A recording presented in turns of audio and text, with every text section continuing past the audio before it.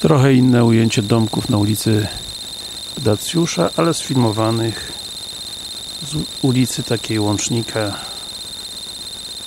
pomiędzy Dacjusza a Zagłoby.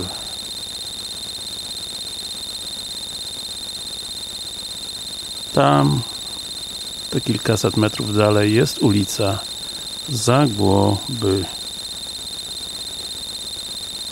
A teraz sobie przypomniałem, jest to oczywiście ulica Kordeckiego.